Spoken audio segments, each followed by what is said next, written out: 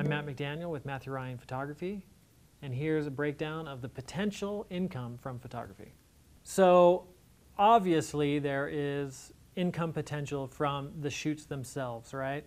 So, as photographers, we charge for our time, the actual time we spend at a location shooting. So, that's the obvious uh, income possibility from photography.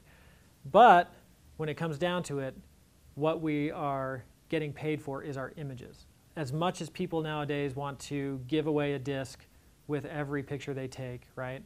Um, that is a great opportunity to charge someone for those images. Because when it comes down to it, those are the images that you're getting paid for. So what I like to do is not charge as much upfront for the time I'm spending. I like to charge for the actual images that are received at the end. Uh, another income possibility from photography is the sale of prints.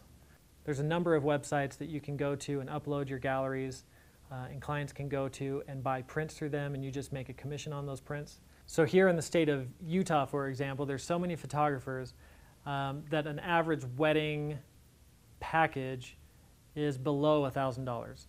Whereas if you go to the East Coast or the West Coast in a more populated area, uh, people are more willing to spend money on, on those weddings. So you may see packages that are closer to $5,000. Uh, so your market really does affect the amount of money you can make with photography. I'm Matt McDaniel with Matthew Ryan Photography, and that's some potential income you can get from your photography.